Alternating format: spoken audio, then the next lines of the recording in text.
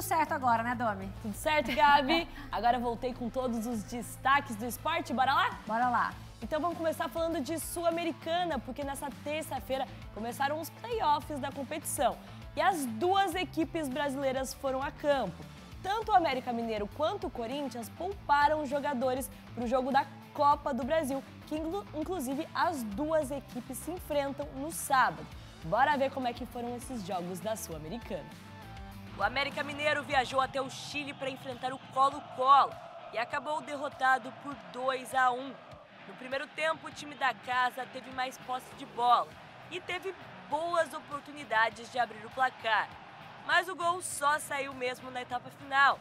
E olha, nem deu tempo da bola voltar a rolar direito e já aos 25 segundos, Léo Gil aproveitou falha de Wanderson em lançamento longo e estufou as redes.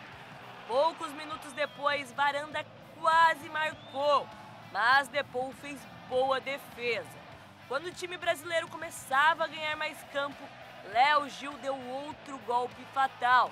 Um golaço de perna esquerda, colocando a bola na gaveta. Nos acréscimos, a Lei aproveitou sobra de escanteio e mandou no ângulo, diminuindo assim a diferença no placar. O Barcelona venceu o Estudiantes por 2 a 1 Fidel Martinez abriu o placar para o time da casa, mas ainda na etapa inicial, Leonardo Godoy deixou tudo igual. No segundo tempo, as duas equipes foram pro tudo ou nada. E quem balançou as redes foi o Barcelona com o Corozo. Na Neoquímica Arena, o Corinthians venceu o Universitário por 1 a 0. Mesmo começando com o time totalmente reserva, o Timão controlou a partida e ainda no primeiro tempo teve várias chances de marcar mas nada das redes balançarem. Na etapa final, Valera fez falta em Rafael Ramos e foi expulso. Com um jogador a mais em campo, o Corinthians cresceu e conseguiu balançar as redes após boa jogada individual de Renato Augusto. O meia conseguiu servir Felipe Augusto, que bateu de primeira e marcou um belo gol para assim assegurar a vitória alvinegra. Carlos Miguel defendeu no último lance um chute de calcaterra. Em coletiva após jogo, Luxemburgo falou sobre essa vitória. E nós fizemos uma vantagem, tá certo? Pô, mas sempre falta um pouquinho mais. Eu acho que nós podemos, claro, chegar de dois, três, quatro é muito melhor. Mas nós fizemos por merecer o resultado. Eles não tiveram no primeiro tempo nenhuma oportunidade, tiveram uma no final do jogo Cara, nós tivemos um jogo que nós tivemos que atacar com uma linha de cinco bem plantada, eles não desfizeram a linha de cinco nunca, três no meio campo, só dois caras na frente para pegar um, um contra-golpe dos zagueiros, souberam jogar, os laterais entraram na hora certa, fizemos um jogo taticamente muito correto.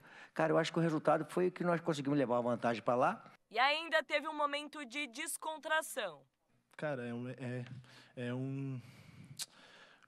É um momento único, assim, né? Aí, aí, aí sai, né? Aí é melhor que sai. Pô, é, é a primeira vez aqui, né? O Renato passou uma bola pra mim. Fez a jogadinha. Fez a jogada de gol. Aí e aí sobrou na canhota e gol. Então, porra. Foi isso aí.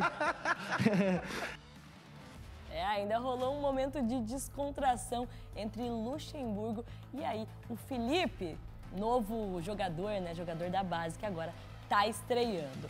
E hoje tem mais jogo da Sul-Americana. Botafogo vai até a Argentina, onde joga com Patronato. E na semana que vem acontecem as partidas de volta.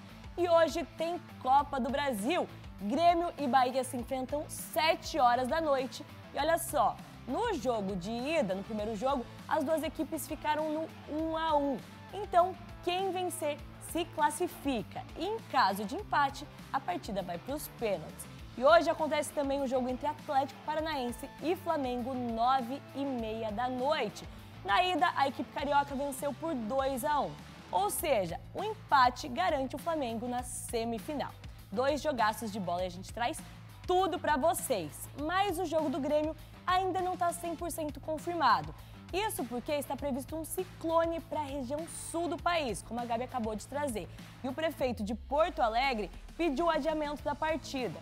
Em contato com a assessoria do Grêmio agora pela manhã, eles disseram que o jogo está mantido, mas tudo vai depender do tempo. Se esse ciclone realmente chegar, o jogo realmente pode ser adiado.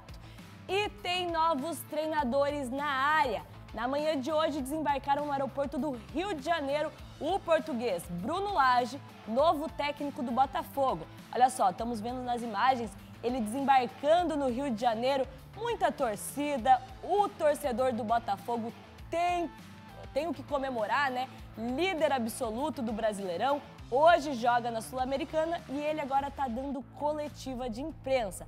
Quem também desembarcou no aeroporto do Rio de Janeiro hoje pela manhã foi o argentino Ramon Dias, que vem com a difícil missão de salvar o Vasco do rebaixamento.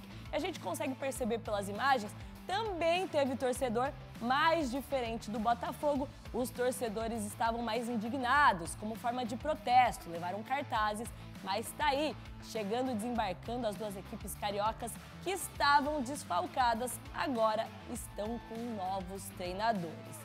E agora a gente vai ao vivo para Blumenau, porque alunos da PAI do, do Médio e Vale, Médio Vale participam de um torneio de futsal uma iniciativa muito legal. Por isso que o PC tá chegando por aqui para trazer todos os detalhes, né? PC, galera animada por aí, conta tudo pra gente. Boa tarde.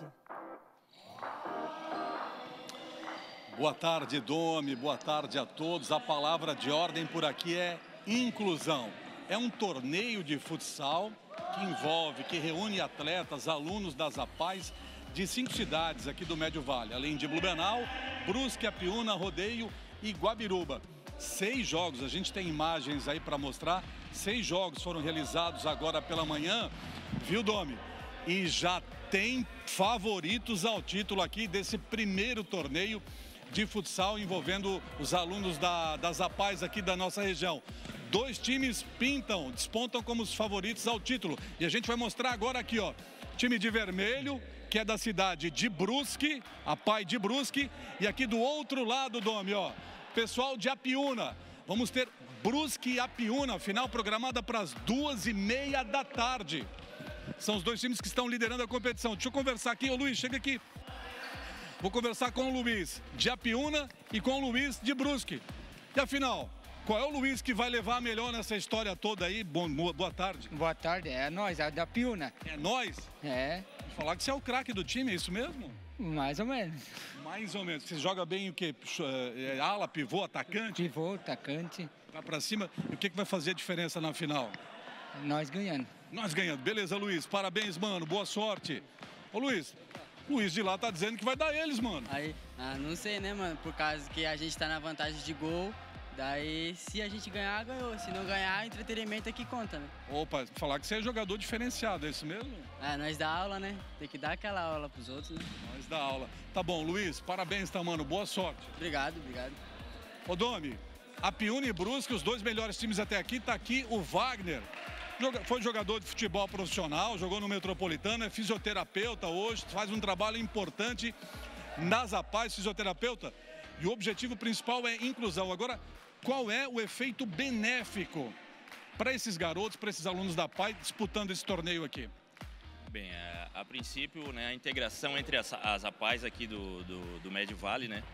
E a inclusão né, desses meninos nada melhor do que o esporte como ferramenta para essa inclusão, né? Então aqui eles, é, eles não vêm apenas jogar, assim, eles saem daqui com uma visão diferenciada do que é o ganhar e do que é o perder, né? É um ensinamento para todos esses meninos. Show de bola. Walter, Deus abençoe, mano. Então é isso, viu, Dona Domi? Duas e meia da tarde. Apiúna e Brusque, os dois melhores times até aqui nesse torneio das Apaz do Médio Vale, fazem a final do torneio aqui no ginásio Vanderweg, em Blumenau, na Pai Blumenau. E nós voltamos ao estúdio com você. Ah, olha só, Domi. Deixa eu te mostrar aqui, cadê ele? Cadê o Roger Guedes? Tá lá, o Roger Guedes. Olha lá o Roger Guedes. Corinthians ganhou ontem. Olha lá o Roger Guedes, Domi. Jogadores do Corinthians foram poupados, então já. Ô, Roger já... Guedes, chega aí. Roger Guedes foi direto para Blumenau.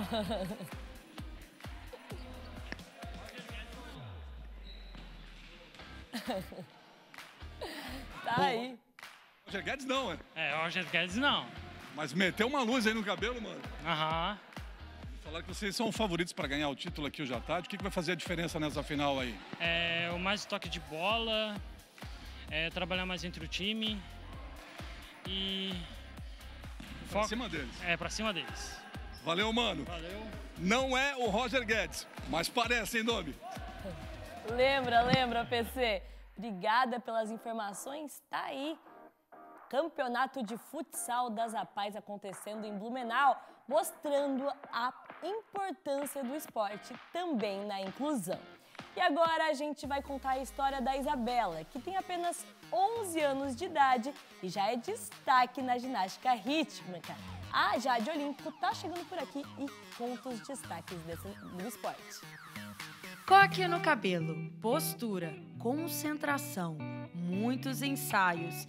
Essa é a rotina de Isa, atleta de ginástica rítmica de apenas 11 anos, que vem conquistando títulos importantes para a modalidade. Muita disciplina, porque não é só vir aqui fazer, tem que se esforçar, tem que ter foco, né? Para acertar, tem que ter muita disciplina. Isabela Almeida, atleta de alta performance, faz parte da equipe de alto rendimento de ginástica rítmica de Joinville. Começou aos seis anos de idade a descobrir sua paixão pelo esporte, por incentivo de uma tia que a viu brincando. O início foi brincando, como a Isa sempre fala, né? Ela estava no aniversário e a tia dela viu esse talento, assim, e escreveu ela. E aí ela só disse assim: vai lá no dia do teste que ela vai passar pelo teste. E desde o início eu incentivo, até hoje, né? Estou sempre apoiando porque eu vi que desenvolveu um grande sonho nela. E tudo que eu faço é para realizar esse sonho dela, porque ela ama. E foi aqui nesse tablado do ginásio Perácio Bernardes a primeira vez que Isa entrou em um ginásio e participou da sua primeira competição. Isso aconteceu no ano de 2019, quando Isa tinha 7 anos de idade nos Jogos Escolares. O que foi surpresa não só para toda a família, mas também para todo o público presente. Porque Isa ganhou em primeiro lugar a medalha de ouro, ainda brincando.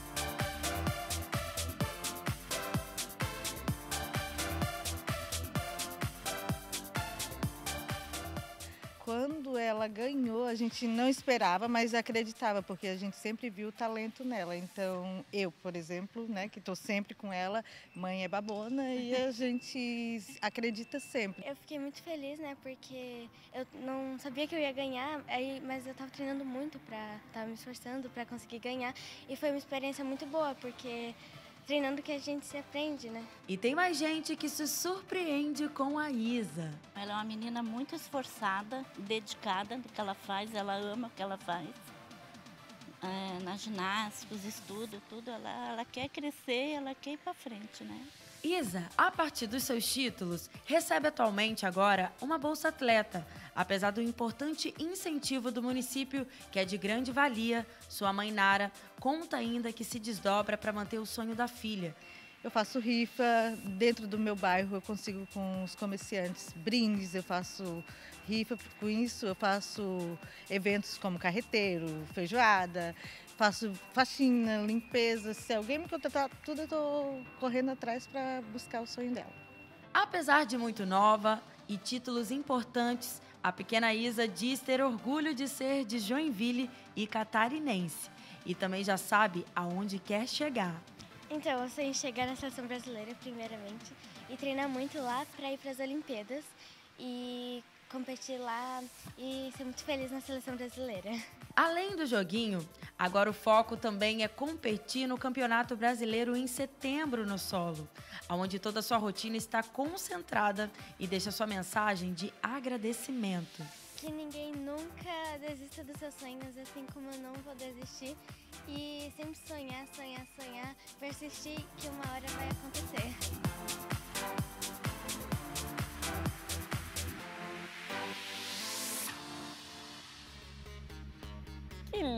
Isabela. Tão nova e tão focada, né, Gabi? É verdade. Agora vai estar no Campeonato Brasileiro, a gente vai estar torcendo por ela.